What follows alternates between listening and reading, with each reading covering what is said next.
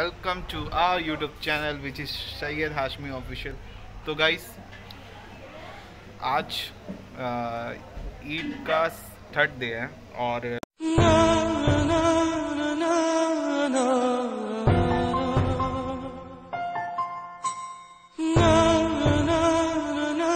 यार, ये लॉकडाउन के चक्कर में कहीं जाना हो रहा नहीं है, और बाल का कंडीशन देखे गई ये इसी तरीक़े से ख़राब होके रखा है। बड़ा बाल अभी हो रहा है इसके कारण आ, मेरे को बहुत ही ज़्यादा दिक्कत हो रहा है इसको मेंटेन करने में। एक बार खाली लॉकडाउन खुल जाए फिर उसके बाद मैं जाऊँगा और जाके बाल कटवा लूँगा अपना। तो यार अपना दिन इसी तरीक़ा से निकल जाता है इधर उधर करके और कुछ होता है यूट्यूब्स के लिए कुछ वीडियो बना लेता हूँ छोटा इस मतलब शॉर्ट शॉर्ट वीडियो होता है वो बना लेता हूँ। और या फिर उसके बाद और तो कुछ काम रहता नहीं करने का। तो मैं ऐसे ही दिखाता हूँ देखता हूँ दिन भर करूँगा क्या तो उससे आप लोगों को हर चीज़ शेयर कर दूँगा। यार मैं अब बाल ना चलिए अब चलते हैं घर की तरफ़। और फिर जाके वहाँ पर थोड़ा बहुत कुछ काम है मेरे को तो वो सब अभी करना पड़ेगा। और हाँ। हम्म, कि मेरे को जब भी कोई स्मॉल रील वीडियो या फिर शॉर्ट वीडियो बनाना होता है तो मैं एक जगह है जहाँ पर मैं अपना स्टैंड रखता हूँ। वहाँ से क्या होता है ना लाइट बहुत अच्छा आता है। तो ये देखो ये रहा स्टैंड वो टूट के रख दिया गया है। इसलिए क्योंकि हम लोग लास्ट आ, लास्ट बार जब हम लोग कोलकाता गए थे तो यहाँ पर घर साफ़ हो रहा था तो उसी चक्कर में इसको वो खिड़की से इसको निकाल दिया गया। तो आज हम लोग इसको बना के फिर से वहाँ पर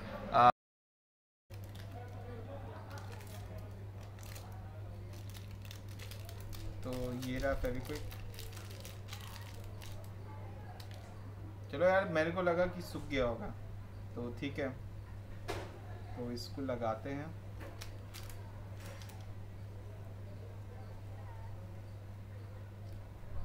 यार, मेरे को पता है, इस सबसे दिमाग खराब होता है इसमें, पता है, क्योंकि गलती से हाथ में अगर लग गया ना तो यार चमड़ा निकाल के ये छुटता है वो। तो यार, कभी भी फेविक्विक यूज़ कर रहे हो तो ध्यान से।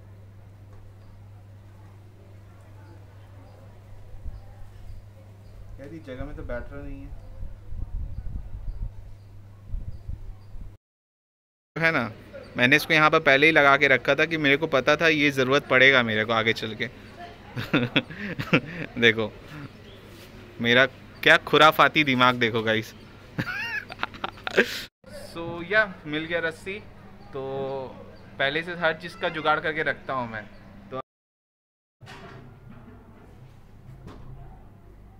तो जितना कुछ शॉर्ट्स वीडियो जो होता है सब में यही रील वीडियो जो होता है। वो तो फिट हो चुका है। अब मैं जा रहा हूँ खाना खाने के लिए फिर आप लोगों को खाना खा के मिल मैं खा रहा हूँ और ये देखिए और साथ ही साथ मैं वीडियो देखता हूँ।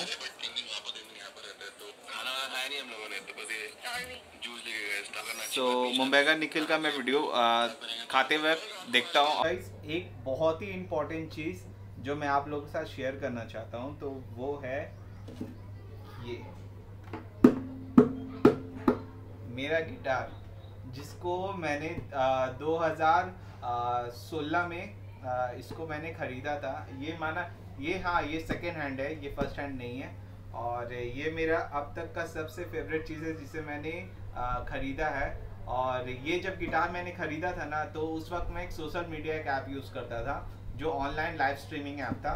तो उसके सैलरी से मैंने ये गिटार ख़रीदा था। तो ये आ, मेरे ही पैसे का है।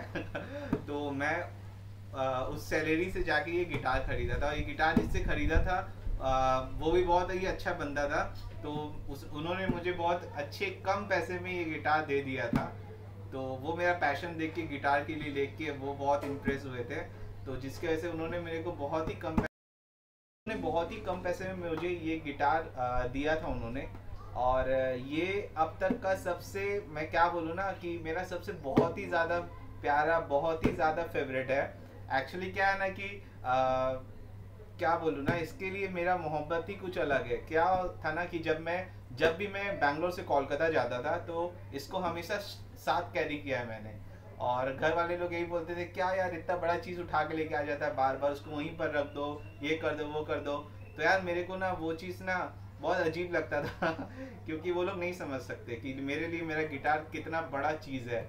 और फिर उसको मैं क्या करता था ना कि उसको हमेशा साथ कैरी करता था, क्योंकि ना मेरे को यहाँ पर ना समझ में नहीं आता था कि अगर गलती से अगर खुदा ना खास्ता टूट गया, या फिर कुछ हो गया, या फिर बरसात में भींग गया क्या है ना एक्चुअली खिड़की के पास से पानी आ जाता है कभी कभी बरसात में अंदर।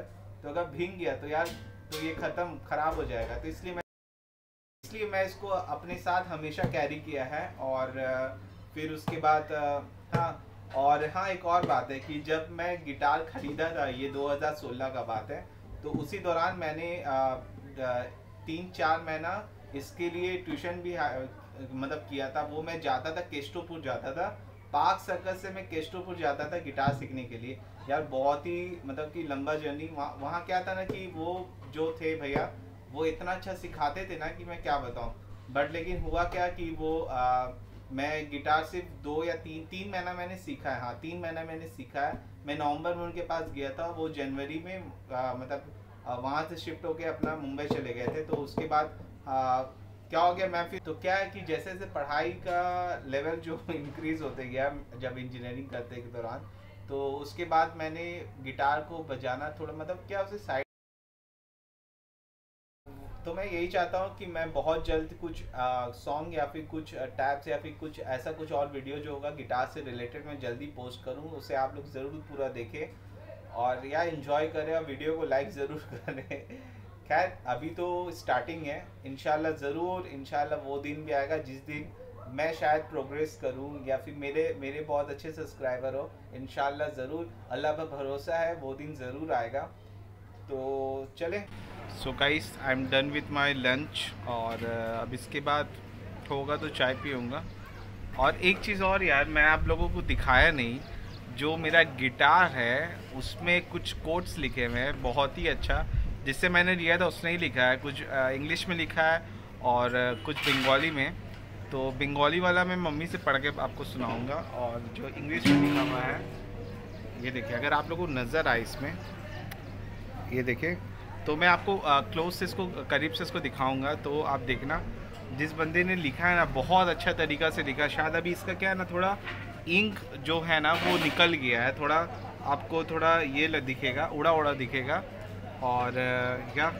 तो मैं आपको इसमें दिखाऊँगा कि इसमें सीधा लिखा हुआ है forget what hurt you but never forget what it thought you और यहाँ लिखा हुआ है when you change your way of communication you will find all your relationship change यहाँ लिखा हुआ है people are like music some people speak the truth and others are just noise वाह वाह वाह।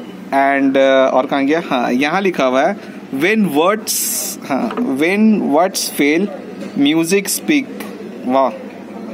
एंड लास्ट वन म्यूज़िक से the word sorry music the words which are afraid to speak out loud hmm और यहाँ कुछ Bengali uh, में लिखा हुआ है तो मेरे को नहीं आता है वो।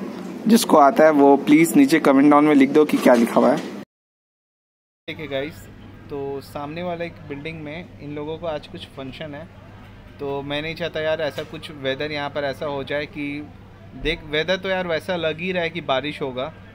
खैर, ऐसा कुछ ना हो, नहीं तो इन लोगों का फ़ंक्शन पूरा ख़राब हो जाएगा। तो गाइस देख लो वेदर गाइस ये रहा टी चाय आ गया है मेरा। और तो मैं चाय पीता हूँ। यार क्या है ना, मैं चाय जब मैं क्लास ट्वेल्व में था एलेवन ट्वेल्व में था ना, तब से मैं चाय पी रहा हूँ सुबह में। उठ के पढ़ने के लिए ना बहुत हेल्प करता था। तो उस वक्त मम्मी तब से आदत दिला दी तब से चाय पीने का। तो इसलिए मैं चाय lover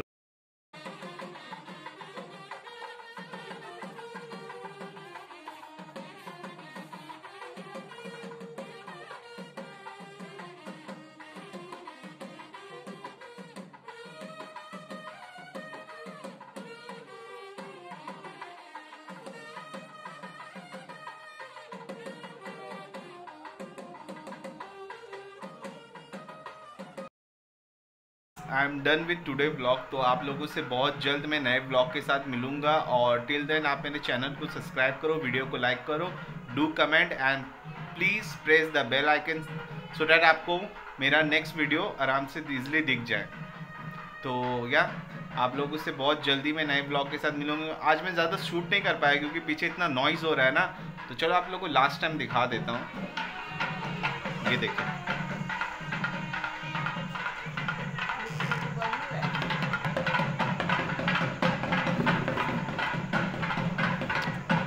यार गाइस बैंगलोर में मैं चार साल हो गया है, लेकिन आज तक इतना कलरफुल मैंने कभी नहीं देखा अपने एरिया को।